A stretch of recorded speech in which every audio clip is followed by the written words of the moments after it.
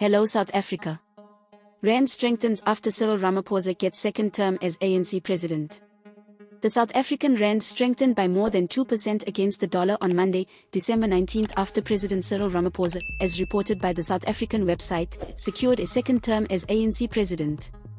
The currency, which opened morning trading at 17.60 rand to the dollar, was changing hands at 17.22 rand shortly after midday following confirmation of the results. Ramaphosa received 2,476 votes against 1897 for his rival, former Health Minister Zweli Mkhize.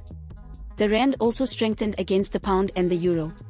This is Leah for the South African. Please subscribe for more news updates.